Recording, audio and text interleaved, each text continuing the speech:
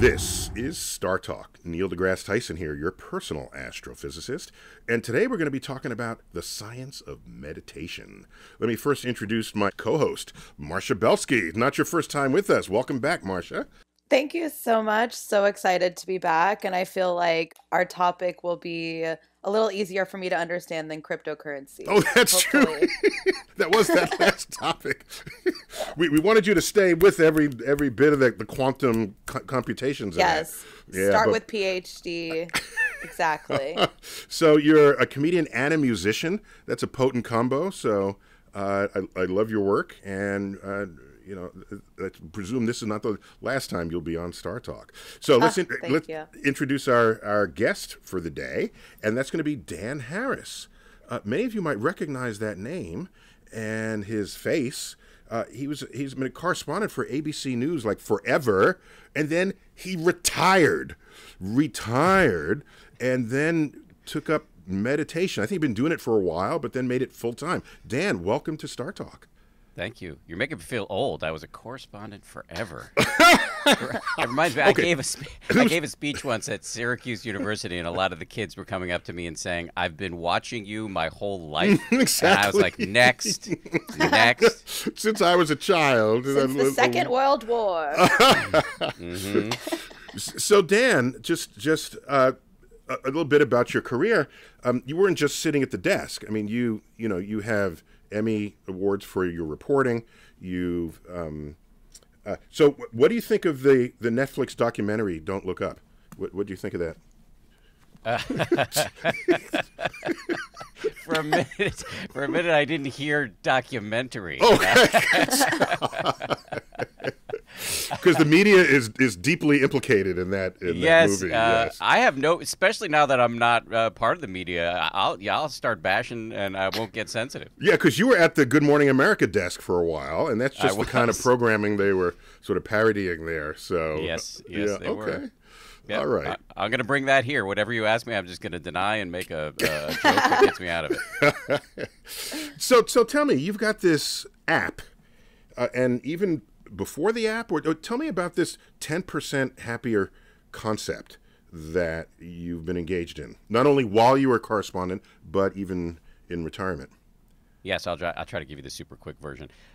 It all started because I had a panic attack on national television back in 2004. You can Google that if you want to see it. Um, so it was live. Wow. A, yeah, a live panic attack. Yes. Yeah. Um, it was like um, a better version of Al Capone's Vault. You know, when you uh, when Geraldo Rivera did that live show on primetime television and didn't find anything in Al Capone's vault. This was live, and actually something happened. I lost my mind, and um, there was an audience of 5.019 million people uh, on, on, a wow. warm June morning in 2004. And the reason I had a panic attack, I found out later, is um, because I was doing some very dumb stuff in my personal life. I had spent a a lot of time in war zones. That's not the dumb stuff. The the war zones was part of my that was part of my reporting job. But I came home from that from those experiences in Iraq and Afghanistan and other places and I got depressed and I very unwisely self-medicated with recreational drugs. Even though I wasn't high on on Good Morning America, my doctor later explained that it was not my drug use w- was enough to change my brain chemistry and make it more likely for me to freak out. And so that experience kind of put me on this journey that ultimately landed me on meditation. So, so, Mar- so Marcia, as a comedian, you, you experience exactly that same war zone thing, don't you? yeah. and it's like, I definitely am relating to it though, because I think also, yeah, I started having really bad panic attacks and I don't like, you know, Xanax and things like that. I'll only take it when I really have to. So I have tried meditation. So I'm super interested to like hear your journey for sure. Right. And, and if a comedian has a panic attack, that's the that's that's that's the end of the that's the end, right? It is. It's hard too, cause yeah, like I've only ever panicked on stage one time, and it was kind of weird where I was just like silent for 20 seconds, and then managed to kind of get them back. But it's mm-hmm. it's a freaky. Ex- I can't imagine doing it on live TV. It's such a freaky experience. Right. If any, if you haven't had a panic attack, I mean, it literally feels like you can't breathe. It feels yeah. like you're having a heart attack, and you can't tell anything to your brain that's like I'm not dying. Your brain is just like, this is it. This is it. Wait, so Dan, you're you're implying that had you not had these uh, uh, coexisting factors, you might not have gone through that episode. Is that correct? Yes. I mean, I did have stage fright, you know, which I, I made a joke in one of my books that my career up until that date represented a triumph of narcissism over fear um, because I would like to be on television, but I had stage fright. And uh, so I was always kind of walking the line, but then you add in significant amounts of cocaine, and uh, I crossed the line to freak out zone. Yeah, this Coke is doesn't help with anxiety. I've heard No, that. no. I've heard that. Yeah. So you both have Yeah. data on this, yes. So this is all very important feeder information because when we go to our second and third segment, we'll be bringing on friend of Star Talk Heather Berlin, who's our sort of resident uh, neuroscientist, and so all these factors will matter when we share uh, what you're telling us with her. So, so tell us now, um, who, who got you started on meditation? Who, who thought, who figured that would work for you? Well, it was multifactorial, but I think the the most important variable was my wife. Um, uh, she gave me a gift of a book by a guy, a guy named Dr. Mark Epstein, who is a psychiatrist based in New York City, where uh, we lived until recently, and um, he uh, has written a beautiful series of books about the overlap between psychology and Buddhism. And I didn't actually know much about Buddhism other than the fact that I had stolen a um, Buddha statue from a local gardening store when I was in high school because I thought it would help me with the ladies. Oh, high school, and Put it okay. in my bedroom. Uh, yeah, high school. So n- Oh, I because if you have this- if, if you have a, a Buddha on your on your windowsill, you're you're, you're hip, you're cool. Yeah, Yeah. like we got the Well- freaking British Museum over here. in the stealing 80s artifacts. in the 80s um, anyway the statute of limitation on that is passed so I, I think i can talk about it anyway i didn't know anything about buddhism but i read this book and and i realized that that um, there was so much in here that spoke to way the, the way my mind works the buddha called it the monkey mind this this constantly active uh, leaping from one hit of pleasant experience one promotion one slice of cake one latte to the next and yet never fully satisfied Wait, it's the monkey mind minus throwing the poop. I'm, I'm guessing. Well, I mean, Also, I don't know about latte your is bad mind. for anxiety as well. Cocaine and coffee. No Correct. wonder. Correct. I, you're, I agree with you, Marcia. I disagree with you, Neil, because I, I don't know about your mind, but my mind's throwing a lot of poop uh, at other people. Oh, yeah. And at myself. It's an omnidirectional poop dispenser. oh Um, man. Okay, so it's it's a it's a figurative poop dispenser. There Yes. you go. All right. Uh, so all right. So and that sets you on your course. So I'm I'm guessing here that this is a very educated guess that the uh, the meditation has uh, is all about sort of introspection, as is so much of Eastern philosophy. So the resonance there is is kind of pre uh, preordained, right? I mean, it's it's not the intro, the word introspection is interesting because it's not introspection in the way I think we in the West might think of it. Because you're not sitting there analyzing your thoughts the way you would in therapy. By the way, I'm pro therapy. I go to therapists and et cetera, et cetera. So that's not a degradation of therapy, but this is more of a mental exercise. Which I know you'll get at in your second and third segments with um, your neuroscientist. Yeah, friend. Heather Berlin. Uh huh. Yeah, I mean Heather can talk about this, but uh, I'll just preview it by saying that, and I can describe what meditation is if you want. But it, it is essentially like a series of exercises for your brain and by extension your mind, and you can see the changes on the brain scans, and that's really compelling. So it's not navel gazing in the, in the way in which we in the West might consider it. Got it. So it's it's goes beyond woo woo, right? As they say, where if you if you have measurable data on changes in your brain scans, uh, it means you're actually doing something, and it's, and it's not just talk at that point. Is that fair? Yeah, I think it is fair. I mean, it's interesting. The more I've gotten into it, the the more open I am to.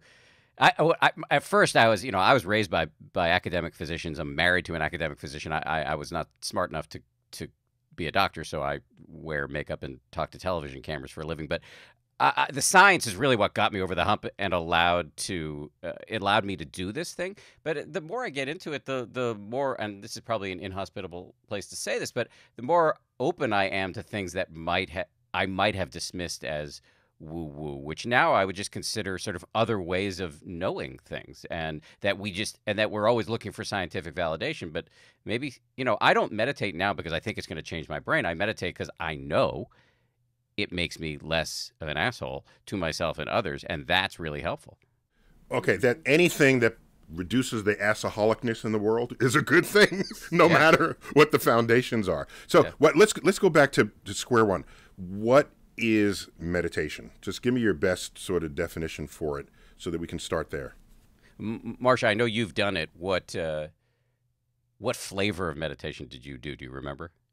For me, it's it's really hard for me to meditate, and what I noticed is um, the more I would try and structure it, the less likely I was to actually just sit there and be present. Like I would try and get um, tapes and things like that. So the times I've found I best meditate are after I do yoga, Mm. whenever they have the like 10 down lay down period. Those have been my most successful times. I think because my body has exercised and I can sort of meditate at that moment. And then just truly laying in bed in the mornings. And for me, it's putting my phone in a different room and forcing myself not to like go check it for an hour. And then I can actually just sit there and think and not watch TV. And that's what I call meditating. I don't know if it actually is, but that's sort of what's helped me with my anxiety, especially over this last year to try and stay present. And I do little things like I'll tap tap my heart, tap my head and physical things like that and point to the like I don't know if you've done this when you have panic attacks, but you point up and you say I see the ceiling, I see the door. You just start naming things around you to keep yourself present. So that's So he the kind he, of meditation. he asked you what flavor, so that sounds like vanilla. Yeah, that's the most vanilla. Okay. Yeah, I'm entry level meditation. Okay, so I- I'd be I Rocky can't Road maybe if yeah. I. yeah, I want to get to mint chocolate chip level. yeah, if I there you go. There you go. Okay, so so what so what flavor, uh, Dan, are you? Well, yeah, maybe I can help disambiguate the the flavors here. Th- So there, the word meditation is a little bit like the word sports. I mean, it describes a whole range of activities. Marcia hit on about seventy five of them in her paragraph that she just uttered there, and Yeah. and and that's all good. For me, I think that I usually start with a very basic form of meditation called mindfulness, which is derived from Buddhism but has been thoroughly secularized and has now been studied in the labs extensively. And the real there are really three beginning steps for this. One is sit comfortably. You can lie down if you want. I don't, or you can put yourself in the lotus position. I don't like to do that because I'm 50 years old and not very limber. But you just kind of sit comfortably, close your eyes. That's the first step. The second step is to bring your full attention to the feeling of one thing, usually your breath coming in and going out. If you don't like focusing on your breath, some people find that sort of an anxiogenic and anxiety producing thing. So you can just feel the your full body sitting or lying down, just picking one thing to focus on. And then the third step is as soon as you try to do this, you just try to feel your breath or feel your body sitting in a chair, your mind's going to go bonkers. This is the monkey mind. And you'll see that you're start, you know, start planning a homicide or you're wondering, you know, when's lunch or whatever. And the whole game is just to notice when you've become distracted and to start again and again and again. You're not trying to clear your mind. That's impossible unless you're enlightened or you've died. The whole game is just to notice when you've got- become distracted and start again and again and again. And the benefit is mindfulness, this kind of self awareness that allows you to see the chaos and cacophony of your own mind without being owned by it. Wow, so that's why the silence matters because that could create an artificial distraction that is needless in your efforts to achieve your goals. You know, for some people meditate with um, music. I've never understood exactly how that works. How about those tones, you know, those bells that you hear sometimes uh, uh, that might resonate with some frequency within yourself? So there's sound baths, which again, that's not something I really understand or have done much of. You, the bells often in, in the in the flavor of meditation I come from are are used to start or end a session of meditation. Oh, gotcha. Okay. hmm Um, So, like I said, That's very are all kinds of Pavlovian. meditation. Very, very Pavlovian, by the way. Yes, yes. I In like fact, some of those sounds. I like some of the ohms and the like. The bells kind of clear out your head. It feels like mouthwash in your brain. Some of the frequencies. Oh, I like that analogy. But just to be clear, for those who don't otherwise know, these aren't like dinner bells or sleigh bells. They're they're tonal bells, right? They're Yes. like Yes. they're, I can they're- only meditate to sleigh bells. Actually, That's my- no, no whale noises. none no, of no, you said, no. I need more cowbell. That's what. I need more that's what cowbell need. and Santa screaming. Yeah. So you have, so you have an app called the Ten Percent Happier app. Well, I mean, the app is named for the, the what you do, and you know, I'm, I. I want to be twenty percent happier. why, why are you holding me back to ten percent? You know, what's what's what's the thinking behind that? Or did you borrow that from the business world, where they say, "I want you to give one hundred and ten percent today," and that's of course mathematically not real, but spiritually, emotionally, it might mean something. So, where are you coming from when you get this ten percent thing going? I got interested in meditation in 2008 or 9 before it was cool. It was like the first time in my life I've ever been ahead of a trend. And um, I- some of my well, there friends. was the entire 1960s and 70s with you know the Maharaji. You Yes. know, I mean, so Yeah. th- there was some meditation going on back then. Just, but you you were only just born. See, so for you, for you to say you're a 50 year old American say I was ahead of the I started meditation. no, what you might maybe uh, uh, yeah, I'll, let me let me offer you a way out of what you just said. Um, could it be that you started meditating early in the social media universe? How about that? I appreciate you offering me the way out. I would say maybe I got interested in meditation before the second wave of cool happened. Because you're absolutely right. It was cool in the 60s and 70s. George and then it, Harrison. Exactly, Yes, exactly. exactly. Mhm. Uh, the Mahara- Ma- uh, Paul McCartney, John Lennon, they were all doing it. So you're absolutely right. It was cool in the 60s and 70s. Then it went away. and It got kind of mocked as part of the um, uh, 60s becoming a bit of a cultural caricature. And then so I, I got interested in 2008, 2009. Uh, and um, a lot of my friends thought it was weird and they were making fun of me. And one day, a friend of mine at work was saying, Well, what's the matter with you? Like, why are you doing this thing? And I kind of out of nowhere said, Yeah, because it makes me like 10% happier. And I could see the look on her face change from scorn to mild interest. Oh, that's clever. Okay, all right, you got me there. All right. Ten percent. Yeah, I can. Uh, let me go with the ten percent, and that's a starter package, right? Exactly. And since since now I'm stuck with math questions and jokes for my whole life, I'll just double down on that to say that it's like any good investment, the 10% compounds annually. The radical good news of meditation is that and this is what the science is showing us is that happiness is not a factory setting that is unalterable. It's a skill you can practice. And this practice, the benefits compound over time. And that is incredibly compelling. Hence 10%. And I wrote a book called 10% Happier, uh, which I thought was going to be mildly embarrassing and go away. And then it kind of led to a podcast where I interview meditation experts and then this meditation app, which. well, that's that's a very natural meditation. arc of an active person who's trying to get the job done. So, congratulations on that. When did the book come out? Almost eight years ago, uh, Okay. 2014. the 10% happier book and okay we can look for that and maybe link to it so so you have i noticed um, i picked up a couple of your um, the episodes if i call them that uh, you have you have a cadre of meditation experts that help the listener to the podcast get into different meditative states right and if, as i understand correctly these different meditation experts are are are slightly differently tuned relative to what your needs might be if you then tune in. Is that uh, if you listen? Is that correct? Yeah, I mean, I think there are there are different use cases for meditation. We have a a lot of meditations that help you fall asleep.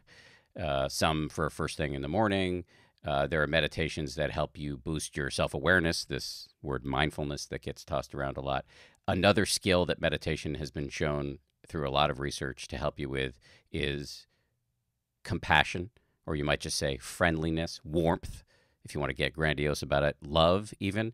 And so that's a really compelling thing to think about as a skill. And as we look out at the, for me personally, as I look out at the world and how screwed up it is, the notion that we can boost our capacity and the capacity of other human beings to get out of their own heads and view the world empathetically through the eyes of others, that that is a skill, that's a very hopeful thing. So, what's the difference between knowing your own mind better and then being able to interact with other people better? So, for example, is there a meditation course, let's call it that, for comedians where they can better get in the head of their audience okay? because they want their audience to laugh right? And if they don't laugh they're not connecting in the way they need. So could you in the limit of this from what you're describing have a meditation app for a, a meditation course flavor for every need somebody has in society so then you lift all boats? Yes, Ra- Yes, rather than absolutely. just the boats of the people who have emotional inner needs to um, you know to soften I, I mean, we do courses on stress, anxiety, also relationships, productivity, having more self awareness in in your daily life. We we there there are, there is no aspect of your life that you can't make more awesome through intentionally turning it into a practice, and that's what That's the what the hardest the part is, are about. though. You start to realize, like, oh, I could fix all my own life. It is all me. And then it's like, uh, no. so much work. so, You so know dan I, I, I, I don't think you should try, just to respond to you, Marcia. I don't think the goal is to try to fix quote unquote everything all at once. I think the goal is marginal improvement over time, and that Marcia, he said he's a 10% guy, so don't Yes. try to ask him for the I'm 100% solution. I like instant gratification. I don't have time for this marginal improvement over time. Okay, give me a quick fix. Give me the cocaine. You know what? Mm, Screw it. Fix it now. Fix it I mean, yesterday. you already said you didn't like Xanax, so I mean, that, I you've know, taken a big tool like- off the table. Wait, so Dan, let me let me give a personal story here. It's not, not a story, but just I I'm like the opposite of anxious. Okay, if if I speak in, in a public setting, it is I'm as calm as like I'm sitting in my living room and three thousand people are just there and we're chilling in the living room. That's what it feels like to me. So I have no anxiety at all. I'm very comfortable in those settings, and I, I there are other things that I know people reach for to compensate for what they might need. I don't. I, I have no relationship with caffeine at all. Okay, I'll have a hot chocolate once a week just because I like chocolate, not because I'm after the caffeine that's in it. So, and I can sleep like that. I, I can walk away from this camera, lay down on the on the carpet here, and be asleep ten minutes later. So that's I've my never problem. been angrier at a person in my life. That's crazy. All of like you're just basically saying everything that's haunted you your whole life doesn't really affect me, but must Well, be hard. So, so what I'm saying is, I tried a, a meditation app, you know, where it said sit down, focus on your breath. It did a lot of the stuff you were describing, and I just went to sleep. I because you know. A, soft voice talks begins to talk to you, and uh, and I'm sorry, I, I just go to sleep, and so maybe I'm I'm I'm meditation proof, okay? Because I can't. Am I unreachable by meditation? Because I don't.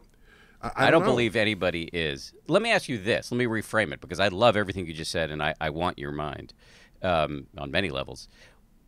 Where in your life do you struggle? So I don't think about it that way.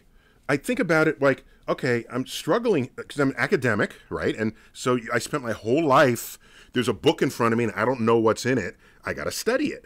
And so then I work through it, you slog through it, you the brush and bramble, you get a little bloodied, uh, maybe, you know, if it's a particularly difficult physics problem or something, and then you get through it on the other side. And the, the, the, the reward is that much sweeter for having struggled to get there. So for me, a struggle is not something to bring to bring angst within me. It I'm attracted to it. I say, wow, I don't understand that. Let me keep at it, and that that excites me. And I, so I don't. I, so I don't. I can't think about it the way you asked me the question about it. Well, I, if we talk to everybody in your life off the record, uh, would they say there are at days where you have a bad day or relationships that are fraught? Um, or is there say no I- struggle in your life? I can never be woke enough for my daughter, my 25 year old daughter. oh, I'm me and my dad fight constantly. That's what I'm saying. I, I, as woke as I think I am, I, that I will never be woke enough. That's so what she's I, I learn. for. I, I, you- yeah.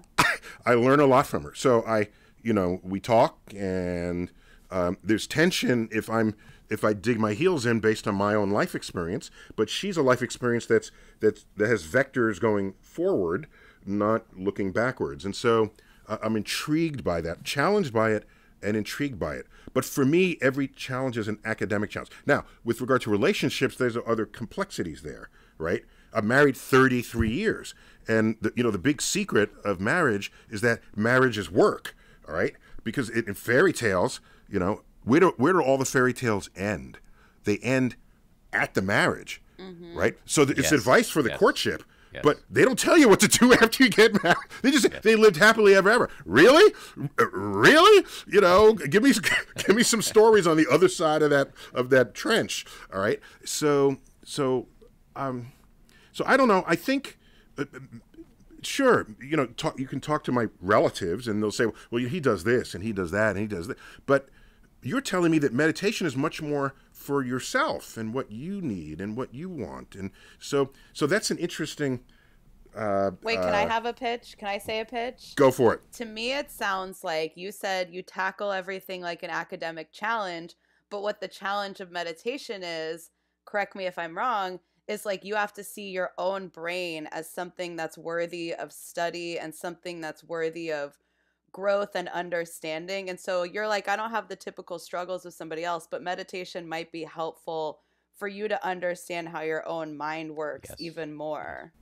All right, Dan. If that's if if Marcia's correct, She is. so okay, okay. So But What she is for you. I mean, everybody's got to have their way in. I think she astutely obser- uh, identified one way in for a for a mind like yours that is really interested in science, really interested in the details, figuring things out. Buddhism and meditation, I think, would have an enormous amount to offer you because the mind is massively complex and fascinating, and in many ways lawful, and you can get interested in what makes it work so you're you're suggesting because that's not how you began. You began by saying I had this problem, that that problem, that problem, and meditation solved it. And if you have problems in your life, medication, uh, me-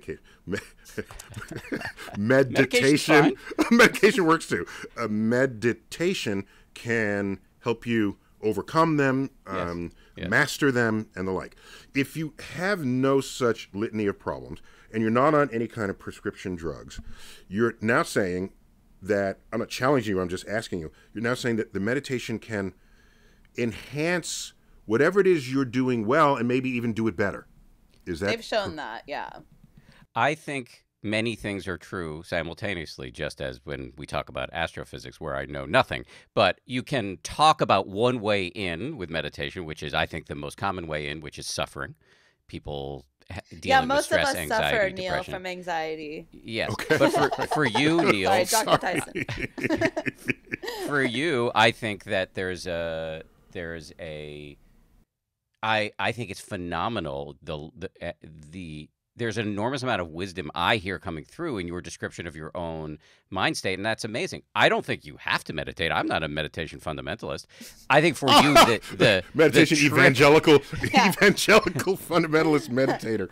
the the trick, the interesting door for you might be just intellectual interest because there's so the mind is so vast and is so interesting, and I think there would be a lot there for you to play with. And I just want to respond to one last thing, which is you said meditation is all about your own mind, but what we know what we know about the universe is that the line between self and other is porous and blurry.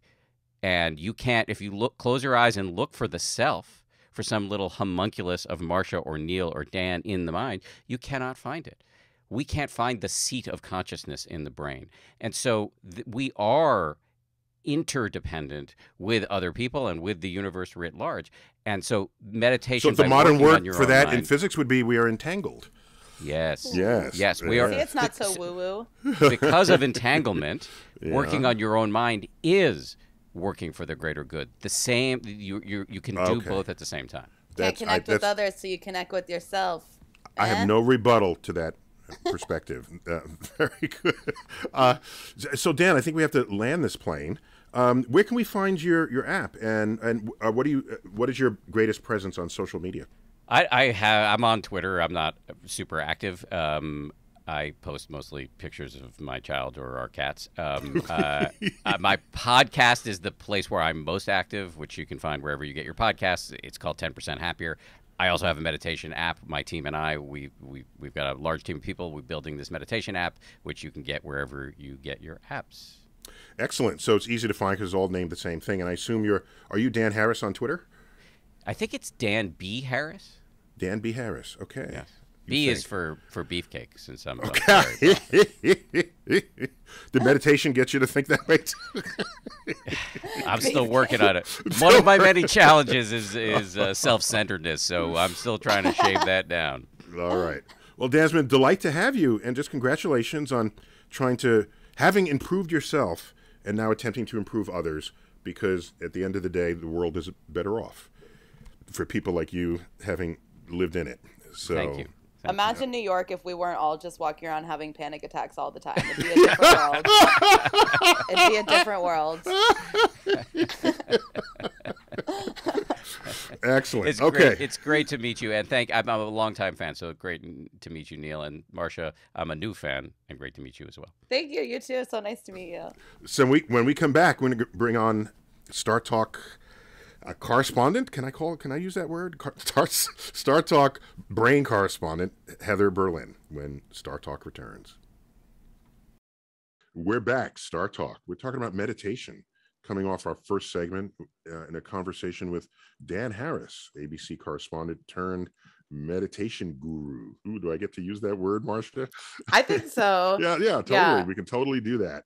And as is the DNA of Star Talk, we bring in um, an academic expert on a subject matter that any of our um, pop culture representatives bring to the table. And of course, we have our neuroscientist at large, Heather Berlin. Welcome back, Heather. Always a pleasure. Always yeah, a pleasure. Yeah, and you're you're at the Icahn School of Medicine. Did I say that right? Yes, the Icahn School Icahn, of Medicine I-C- at Mount Sinai. H N at Mount Sinai and uh, you specialize in figuring out what the brain is doing, whether or not people know it. I think that's on your business card, isn't it? Yes, yes, exactly. so that's my slogan. Bring up some broad uh, questions here that uh, arose from that first segment. So mm-hmm. many people who have mental challenges right one of them a big one I, am told is is anxiety but Marcia leads the pack. Brag, brag, brag. No, no, I'm just saying. No, no, but there are others. There's trauma in life, for example, possibly mm-hmm. even PTSD. Uh, you can think of things that a problem that a person can't shake, shake away from themselves. And, um, you know, as as a, a, a clinical person, is your first thought, yeah, there's a drug for that, or at what point does someone say there's a drug for that? And at what point does someone say, get to know your mind better? Maybe you can have mind over matter, mind over uh, a, um, a, properly behaving mind over the mind that's misfiring. So how does how do you strike a balance between those two? Yeah, I mean, often, you know, we start with the kinds of treatments that are non-medication based treatments. Um, you do, and then yeah, yeah, for sure. And that would be, I mean, you know, forms, various forms of talk therapy, oh, using therapy, techniques, yes, yeah, mm-hmm, of, mm-hmm. you know, mindfulness based stress reduction or or meditation as part, it's integrated as part of therapy. Um, you know, because your thoughts, you know, can change your brain. And that is a way to change your neurochemistry just via controlling your thoughts and and your emotions and how you respond to them.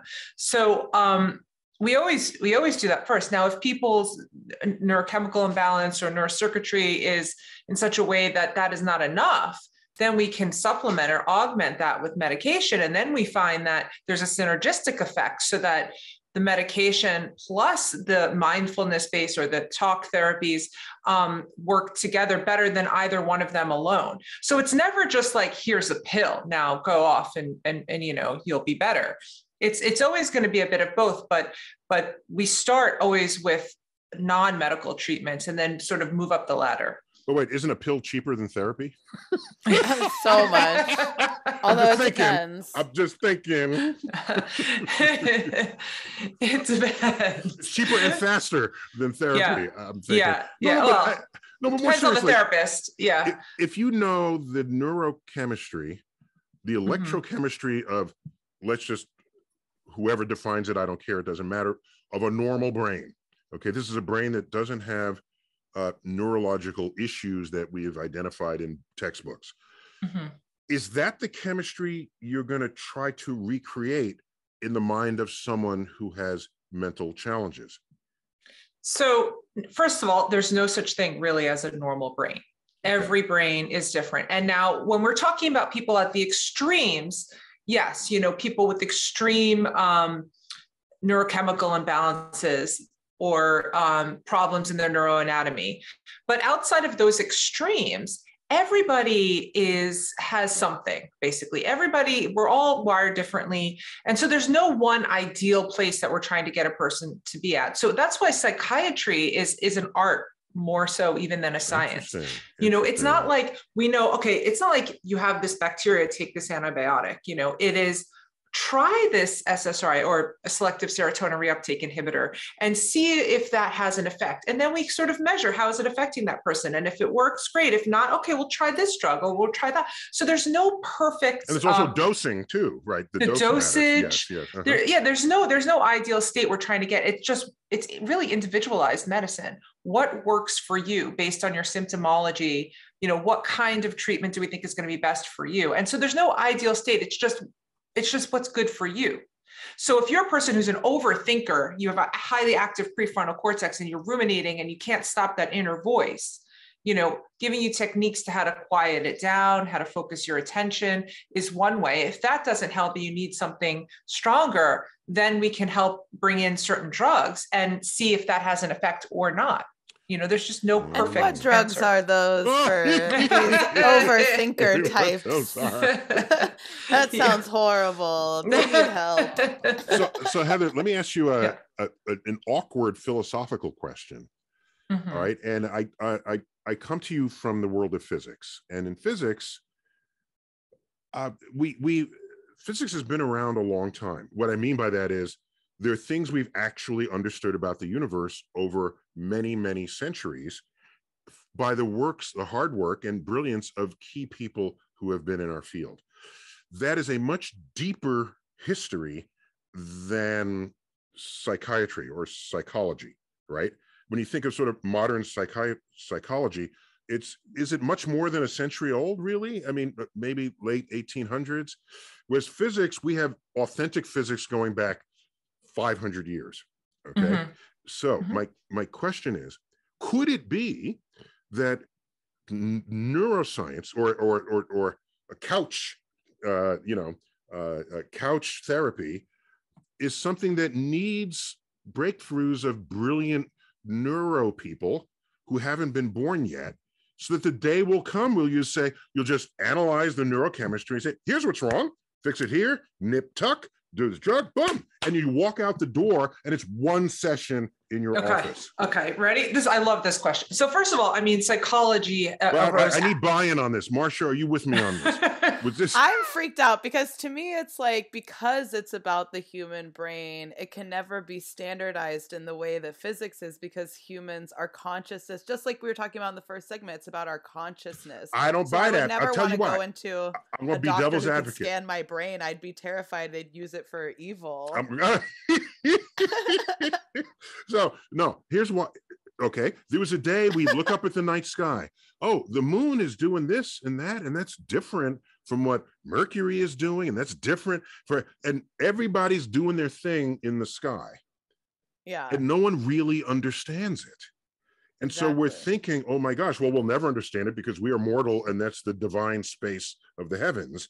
And how can we ever understand divine thinking? I see and, what you're saying now. Yes. And then single formulas of, yeah. come forth and it brings it all together under one coherent understanding. So are we in this moment declaring the brain is just complex and we can never do it? Or are you admitting ignorance about where we relative to where we could be one day so that the person walks in you put them in one of your machines that i know you got in the back room there in your home and then goes boop and then everything is fixed okay. like i said Ready? it's one-stop shop yeah like please okay go oh, I'll tackle this in two minutes or less. Yes. Um, psychology arose out of philosophy. Philosophy was the origins of psychology, but technically, if you really, you know, the the the the science of the mind, you know, maybe a century, a century and a half old. True. The the problem with the brain is subjectivity. So I've always been interested in the brain because I want to understand the neural basis of consciousness. How does this physical piece of matter create subjective states? It's, it's the I most subjective you, thing there is in the world. Exactly. So if I ask you, are you depressed? I, you know, I can look at how you're acting, whatever, but I have to ask you on a scale of one to 10, how sad do you feel or how much pain are you in? Right. So until we can solve that problem of subjectivity, which is really what we want to work towards is having a unified theory of the neural basis of consciousness. And, and we're working on which that right now. Yet. Which we do not have, have, that. We do not have an agreed upon theory of, of consciousness. And, and Marcia, you know, the best evidence that they don't have it is that if you go to the, the bookstore and you look for books on consciousness, they're shelf after shelf. and not just one. Not just one book. Says, there's, there's one book on gravity on the shelf, and there's 50 books on consciousness. That means we know nothing about consciousness. Whoever right? figures out how but we're narrowing it down. though.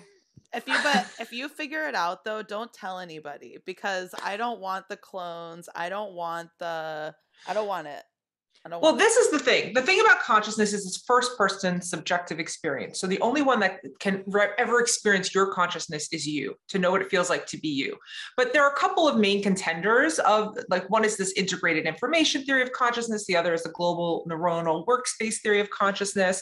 Some talk about predictive processing and coding. So there's a bunch of theories out there floating around and we're actually engaged in a large scale study right now across labs to test these different theories against each other experimentally, which is very difficult to do in and of itself because of the problem of subject subjectivity. Also, um, could the concept of consciousness itself be malformed in how you even pose the question?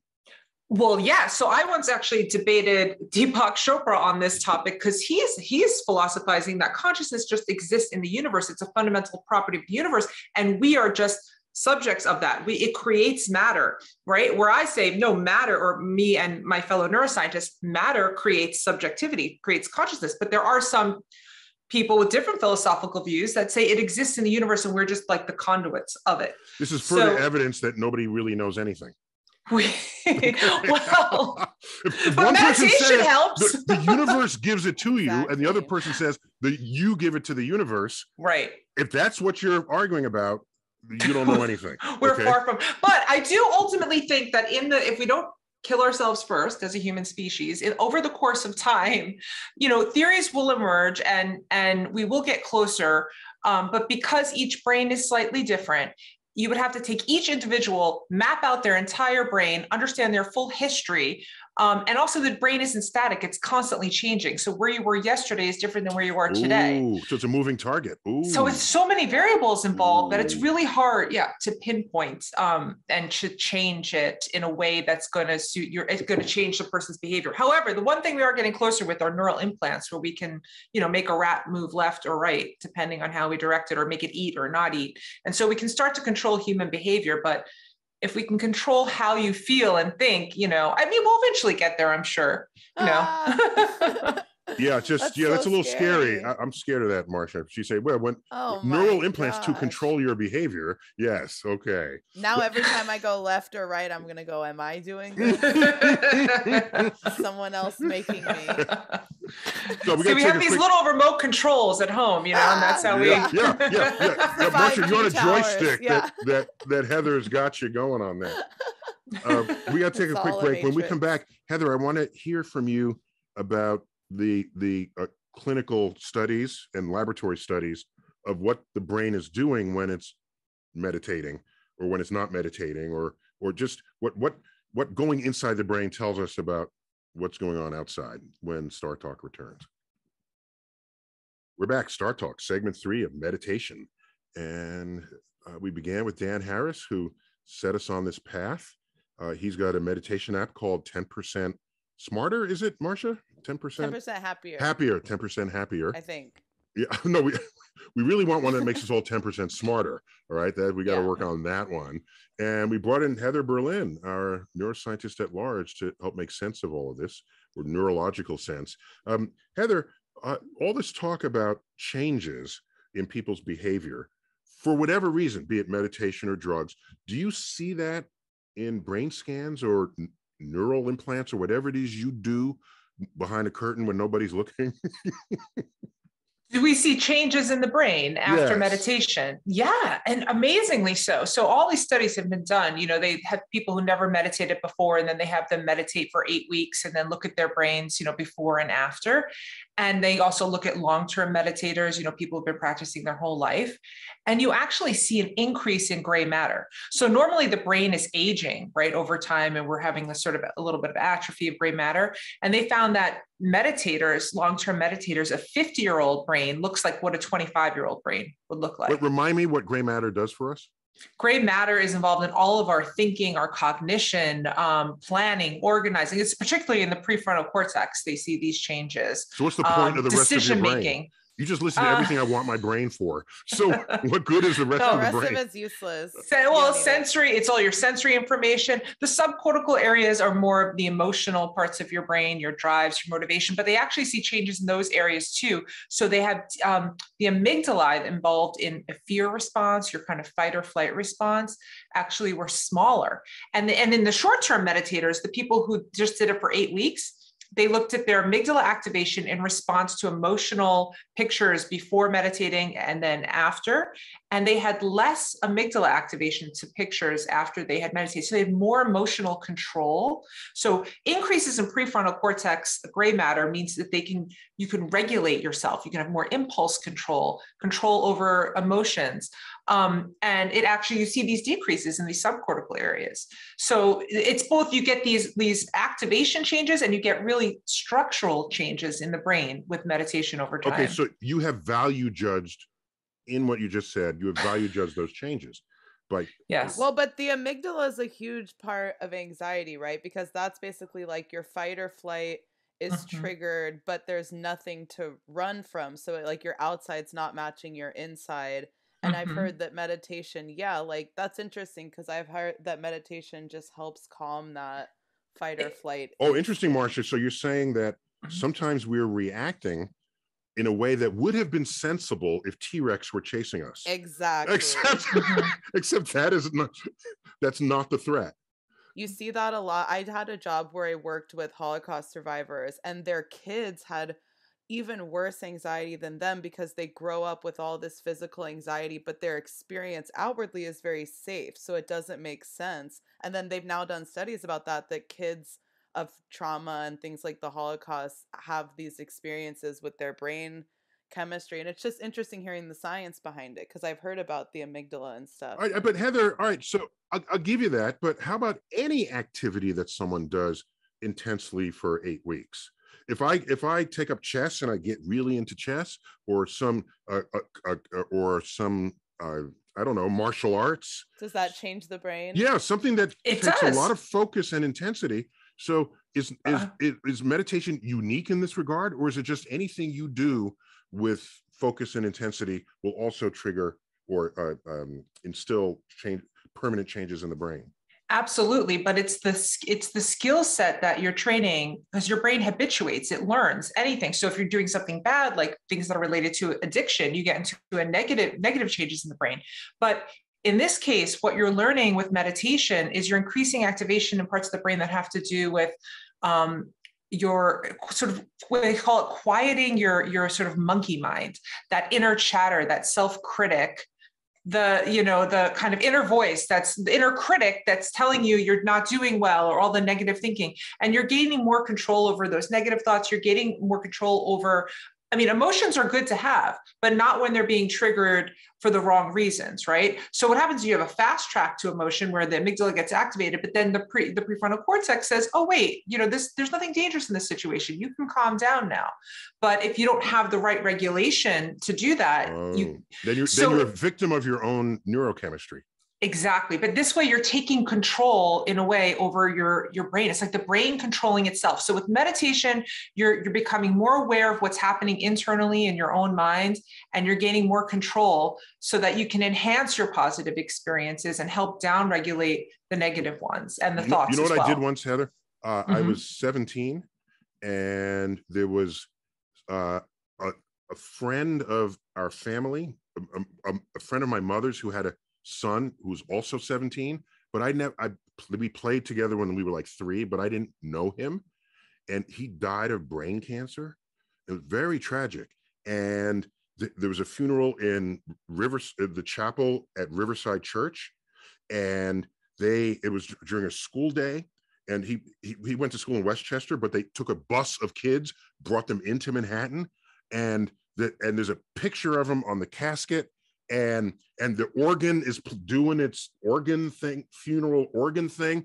Everybody's crying, everybody's crying, and I'm saying to myself, I, I, swear, were you my, not? Cr- uh oh. I swear, this is my this is my this is what I said to myself. I said I do not know this person. Yet every force operating in the air right now wants me to cry over his death. The, the, the you know, 15, 16 year old kids helping each other walk down the aisle. And, and he was a handsome kid. So there's this handsome photo of him. And I said, and, and tears started welling up in my eyes. And I said, I'm only crying because everybody else is crying. I don't actually feel this at all. I said this to myself. And then I said, why don't I cry every day? Because thousands of people die every day in New York City for all kinds of reasons. I'm not crying then. So why should I cry now? So I suck those tears back up. And I, I still felt the moment, but I did not let the moment override emotions that I felt were artificially implanted in me. I did that when I was 17. I don't know if I should be proud of that moment or I cry at State Farm commercials. Are you serious? I'm like this is how you cry at the commercial where the woman sings with the the dogs, you know. Oh, the most manipulative, bring grandma in and you haven't seen her in 20 years. I'll be sobbing. All like, of these songs, they're, they're trying to manipulate me. And so mm-hmm. Heather, mm-hmm. I if are you saying that I did something good or did I do something um, uh, you there's, know, yeah. So there's, mis- there's misanthropic. There's two. There's it's interesting. So there's what we put a value judgment. You know, one of, of which is if you can have the right kinds of emotional control. You know, be able to express your emotions at the appropriate time, but not express them when you're being manipulated to do so and whatnot. So in, in that sense, yes. I'll tell you that organ was all in on. there's a release. You're supposed to cry at a funeral because there's a collective release with ritual, even if like it's not it's like I feel like our culture is so shied away from death that that's why you're that's why you're supposed to cry. But I also went but, to some funerals where some people I'm like, you're doing this for attention, which is wrong. But... Yeah, okay. Heather. So I think the emotional control can be a good thing. Um, over again, over controlled, like you know, if you if you didn't cry, if it was the funeral of someone you did know and have a connection to, that'd be a little different. But the other aspect is, um, and what meditation also helps increase the brain areas involved in is empathy. So you can have an empathetic response. You can, like, the boundary between self and other, it can dissolve and you can feel more connected with people. Um, so you can increase empathy, but at the same time, have enough cognitive control to um, control your emotions in the appropriate way. Yeah. Right? So, so I, so I drew my line between tears dropping down my cheek. I said, I felt it. It was a very sad day. And so I, it's not that I didn't feel the sadness, but I I just could not. And and you know, I've been to some New Orleans funerals, right, where there is a jazz band and there's there's there's a celebration. So I don't think it's writ in the sky that one must cry at a funeral. You can use that time to celebrate the person's life, however brief they were on earth. But you know what you were exhibiting, which is really at that young age, was this sort of meta awareness. You know, you were making a decision about how you were going to choose to yeah, respond. I was, a, I was a geek kid. I was a complete yeah. geek kid so there was this whole like parts of the brain modulating other parts of the brain and that's what meditators do. I once did this um, experiment with this shaolin monk who could withstand an enormous amount of pain. And so we put him in the scanner and we put these these heaters on his wrists and we would just keep increasing the heat, heat to the point that he had burn marks on it. And he was just saying i feel no pain i feel no pain. And we look at his brain Marcia, this a- is this is the stuff heather does. You thought I was joking? The stuff going on behind that curtain. and where are your offices located? I have a couple friends. This was in the UK. This was in the UK. Totally different rules there. Different, oh, different yeah. legislative. Oh boy, yes, yeah. But when when he was controlling this pain, you saw one part of his brain controlling the pain network in the brain. So he was literally using one part of his brain, this executive control, to downregulate the pain network because pain doesn't happen in your arm, it happens in your brain.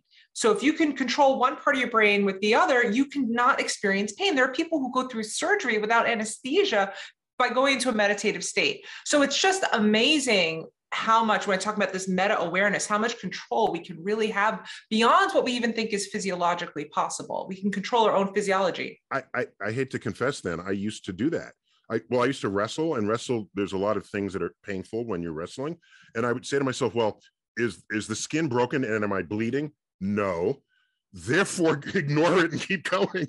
They've shown athletes that's like there was a really fascinating like sports science thing where about how athletes can play through a broken leg just by pure pain control and adrenaline and like the chemicals that come up where you can have a super bad injury and finish the game and then not feel the pain until afterwards essentially. But then sometimes the pain is excruciating once they finally do feel it, but they'll say I played for two hours on a broken leg, didn't feel a thing. As soon as the game was over, I you know collapsed. Yeah. So, like, but it, in my case, I would make the judgment whether it was just pain that pain sensors were sending to my brain, or whether there's an actual physiological break that needed attention, right? Uh, uh, medical attention. I'd, I'd make that distinction. And if it was just simply pain, no matter how severe, I would just ignore it and keep going.